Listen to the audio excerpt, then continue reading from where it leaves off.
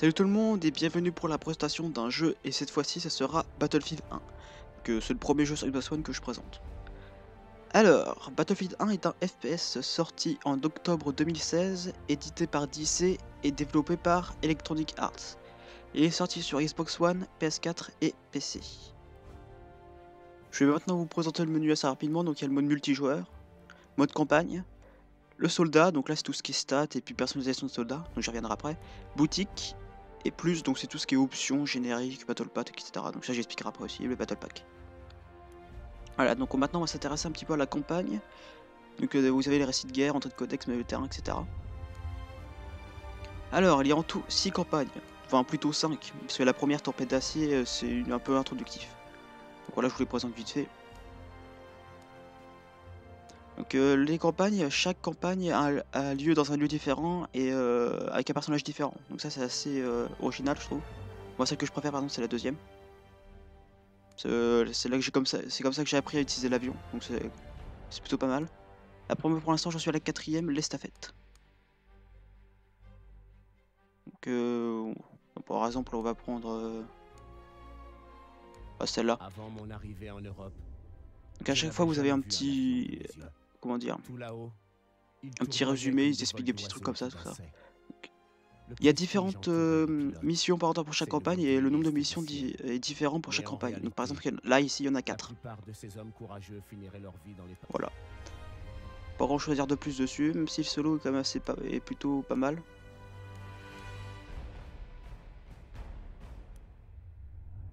Voilà donc euh, Maintenant voir Alors, à droite, vous avez tout ce qui est stats. Donc, euh, par exemple, le véhicule et, les armes avec lesquelles j'ai fait le plus de frags, la classe que j'utilise le plus, etc. Ensuite, vous avez tout ce qui est médailles, ruban, codex, mais j'ai pas le temps de tout vous montrer. Donc, on va passer directement à la personnalisation du personnage.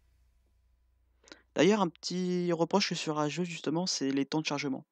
Parfois, ils sont assez rapides, mais la plupart du temps, ils sont quand même assez longs. Donc, euh, Après, je sais pas si c'est moi avec euh, les connexions, mais c'est vrai que les temps de chargement sont assez longs. Voilà, c'est bon. Alors moi j'utilise principalement la classe médecin. Donc en tout il y a 4 classes. Donc il y a la classe assaut, la classe médecin, la classe soutien et la classe éclaireur. Pardon. Donc on va passer à la classe assaut. Donc la classe assaut, elle sert principalement à détruire tout ce qui est véhicule euh, genre tank, etc. Donc c'est pour ça qu'elle a des gadgets adaptés dont je vous les ai présentés après. Donc elle utilise principalement comme des pistolets mitrailleurs ou des fusils à pompe. Donc vous n'avez pas énormément de choix d'armes. Mais c'est quand même pas mal. Ensuite, au niveau des flanques, il n'y a pas grand chose à dire dessus. Voilà. Aussi, pour les armes principales et secondaires, on peut la personnaliser, donc je vous montre vite fait. Donc à droite, vous avez aussi les stats de l'arme. Voilà. Donc maintenant, je vais vous montrer les, armes de corps à corps. Donc les armes de corps à corps sont les mêmes pour les 4 classes. Donc voilà, je vous les montre vite fait. Vous avez les poignards, les matraques, etc. Pour les grenades, vous avez les grenades frag, qui sont le plus souvent utilisées, les grenades à gaz, donc euh, elles sont souvent utilisées aussi. ensuite tout le, reste de grenades euh, sont, quasiment peu utilisées parce que ça, elles servent pas à grand chose. Hein. Voilà. Donc c'est la petite présentation tout ça. Alors au niveau des gadgets, il y en a 4. La dynamite. Je vous, pas besoin de vous le présenter, il y a la vidéo à droite. Les mines anti-chars.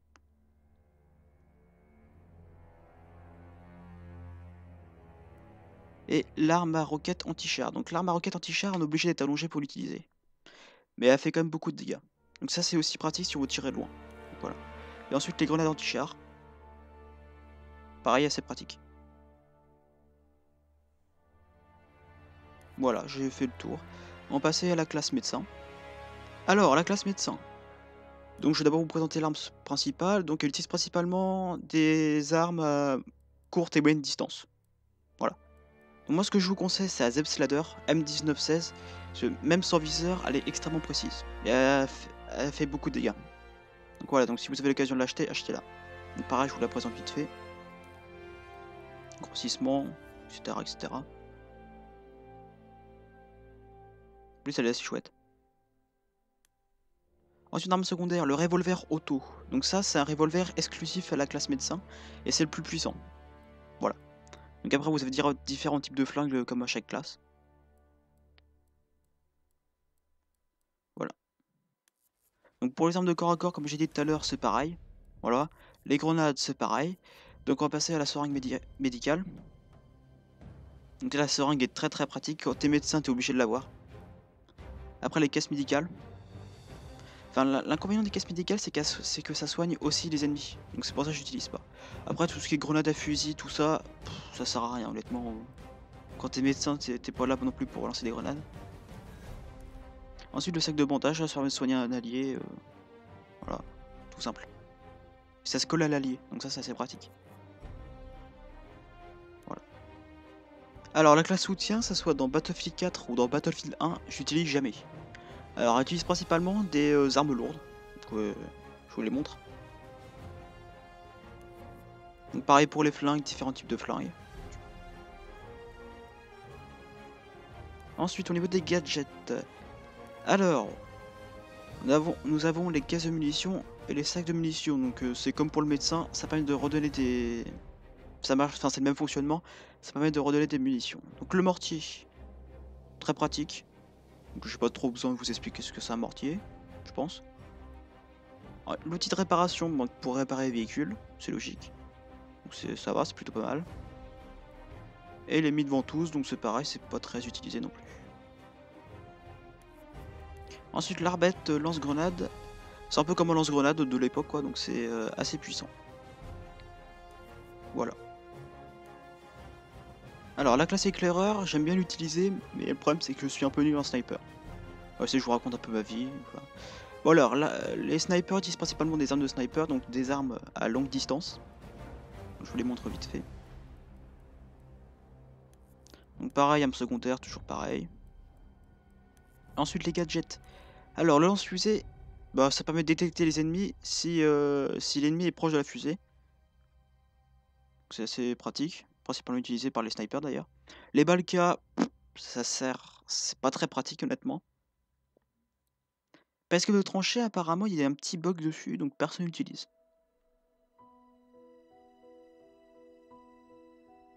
Ensuite, bouclier, euh, bon, c'est un petit bouclier, c'est comme ça. Pratique pour camper, mais bon. Et ensuite, l'heure tir d'élite, bon, c'est pas très utile parce qu'on voit tout de suite que c'est un leurre, donc euh, voilà. Ensuite, les bombes à filo détente. Alors, les bombes, on peut les, euh, les attacher au mur ou aux portes, etc. Comme ça, dès que quelqu'un rentre, il se la prend direct. ensuite, différents types de bombes, etc., etc. Donc voilà pour la présentation.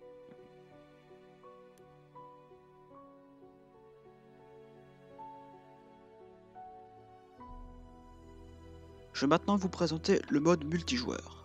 Alors, le mode opération, c'est un nouveau mode de jeu qui a eu euh, dans Battlefield 1. En gros, il y a deux équipes il y en a une qui doit défendre des points et d'autres qui doivent les attaquer. Donc ça se passe sur différentes cartes et on a droit au véhicule. Donc la partie dure environ une heure. Ensuite, partie rapide, bah, pas grand chose à dire dessus. Navigateur de serveur, c'est une partie avec des filtres. Donc pour trouver la meilleure partie, enfin que vous souhaitez. Et partie personnalisée, je l'ai jamais utilisé donc euh, je peux rien vous dire dessus. Alors, le mode conquête, donc c'est le mode classique de Battlefield. Domination, match à mort par équipe, Opération, donc c'est ce que je viens de vous expliquer. Bah, pigeon de guerre, je vous laisse lire. Ça sera plus simple. Donc un nouveau mode de jeu qui a eu euh, dans Battlefield 1 aussi. Et mode ruée.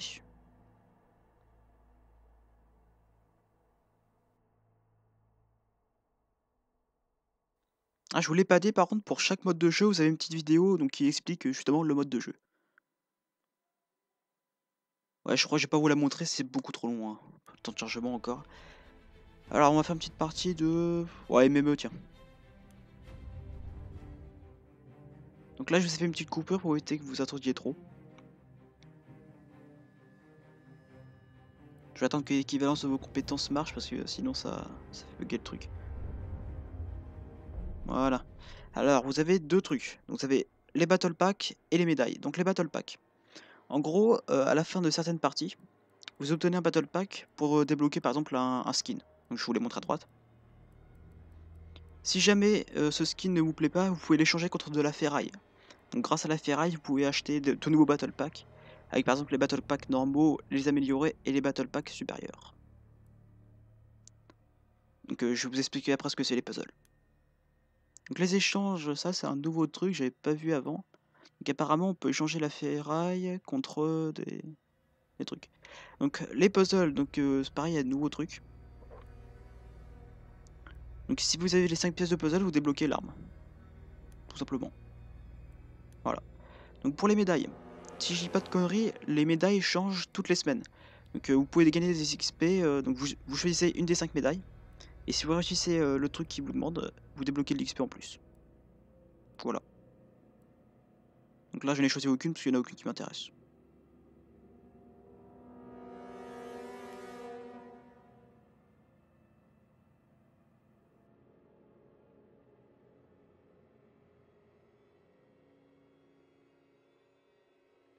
Donc en attendant, vous avez des petites phrases, des petites anecdotes sur la Première Guerre mondiale, mais aussi des, des petites astuces pour expliquer le mode de jeu. Qu'on va attendre. Voilà. Alors, là vous avez les escouades. Donc vous avez plusieurs escouades, avec chacun jusqu'à maximum 5 joueurs. Donc si ça vous plaît pas, vous pouvez créer votre propre escouade. Moi je vais pas le faire. Donc on va rejoindre l'escouade François. Alors, maintenant on a le menu, enfin la carte.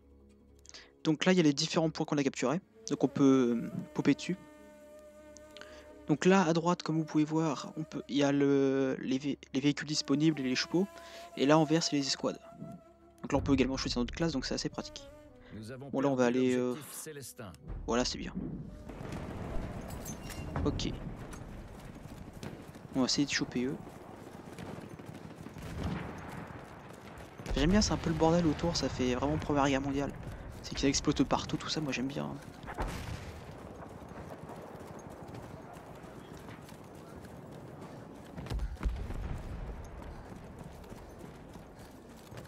va faire gaffe, on est bientôt capturé le point.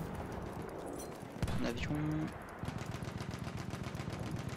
Bon. on va les spanker là, tiens. Nous avons pris l'objectif Attendez, il y a un ennemi. Où est-ce qu'il est? Oh merde Bon bah on va réapparaître parce que là, il n'y a pas de médecin autour. Ah le tank qui apparaît comme ça. Donc à chaque fois vous revenez sur ce menu. Là il y a un cheval, on va le prendre. Ah, ouais, ah, non il est déjà pris. Bon on va aller où? Ah. Nous avons perdu l'objectif. Ah vous pouvez toujours choisir, votre escouade pour le milieu de la partie et puis euh, changer votre classe. On va prendre l'avion finalement. Je vous montre un petit peu une, petite séquence en avion. Ça tire un peu de partout. Donc là en bas vous avez euh, la carte, euh, les joueurs de votre escouade et euh, l'avion. Donc là on peut changer de place par exemple. On peut voir les places qui sont disponibles dans l'avion. Donc ça c'est pour chaque véhicule. Et à droite vous avez votre jauge de tir et l'état du véhicule. Attendez, ça tire par là. Là, il y a un tank. Boum. Ennemi touché. Nous avons perdu l'objectif désiré. Bon, là, j'ai fait une petite transition. Parce que la séquence en avion est un longue. Donc, on va les réapparaître. Euh... Vous savez quoi On va prendre un tank. Voilà. Donc là, j'ai direct sélectionné, mais on peut choisir les tanks. Il y a genre 3-4 types de tanks différents. C'est bien comme ça, ça vous fait un gameplay un peu différent. Donc là, c'est un char euh, qui place par contre. On se fait complètement dominer par contre. Il y a les scores en haut, avec les points qui sont capturés. Et le temps de jeu. On va aller aller, ouais, ça, on va aller choper A, c'est plus proche.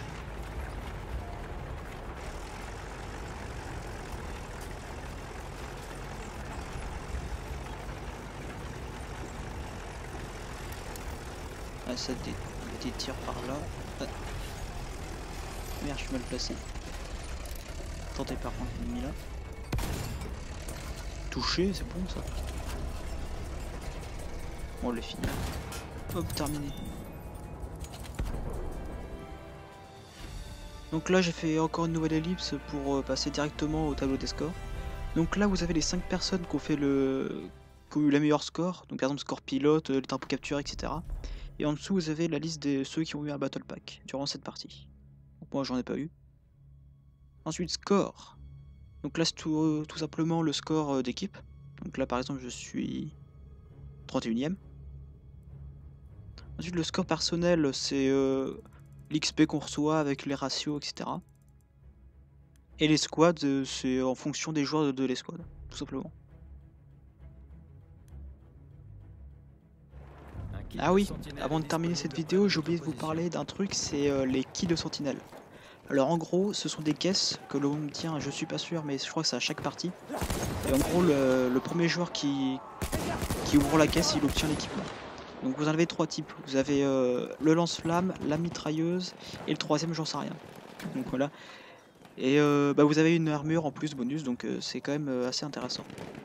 Donc voilà, donc euh, normalement les semaines à venir ce seront deux cocktails manga. Donc je vous dis à la prochaine pour une prochaine vidéo.